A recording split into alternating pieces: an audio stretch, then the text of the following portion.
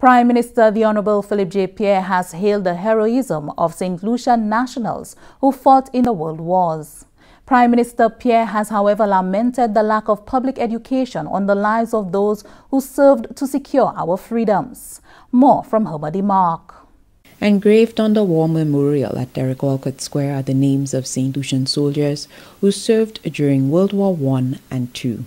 This year, 2021, marks 103 years since the end of World War I on November 11, 1918, and 76 years since the end of World War II on May 8, 1945. St. Lucia annually recognizes the service of these brave soldiers with a wreath laying ceremony, the wearing of poppies, and in past years, a Remembrance Day parade.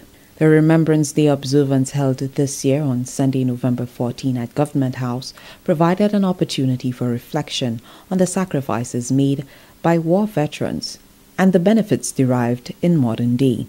Officials of the government of St. Lucia, the diplomatic corps, and the family of war veterans paid tribute to the St. Lucian servicemen who fought and lost their lives on the battlefield of the two world wars highlighting the indelible contribution of the 359 St. Lucians who served in the British Armed Forces. Prime Minister of St. Lucia Honorable Philip J. Pierre called for greater public education on the work and sacrifice of St. Lucia's war veterans.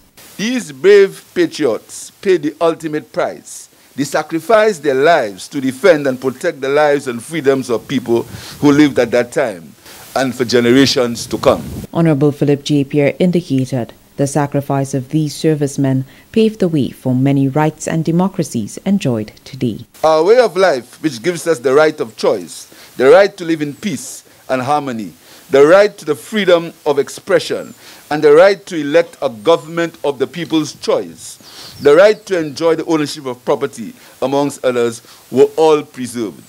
In essence, democracy reigned over tyranny. Resident British High Commissioner to St. Lucia Leslie Saunders recognized two surviving veterans of World War II for their service. Mr. Francis, 84 years old, and Mr. Haynes Cyril, who celebrated his 100th birthday on November 12. Your colleagues have arranged a wonderful certificate for you, Mr. Cyril, from the Royal Commonwealth Ex Services League. It says, Happy 100th birthday on the 12th of November 2021 awarded to Mr. Haynes Cyril, living in St. Lucia, in recognition of this incredible milestone and the lifetime of memories of your distinguished military service. We wish you many more. Signed by Major General Mitch, Mitch Mitchell, the Deputy Grand President of the Royal Commonwealth Ex-Services League. French ambassador to St. Lucia, His Excellency Jacques Henry Hules, described the Remembrance Day commemoration as extremely moving. He recalled that French resistance during the Second World War escaped to the Petain regime in St. Lucia and received a warm welcome.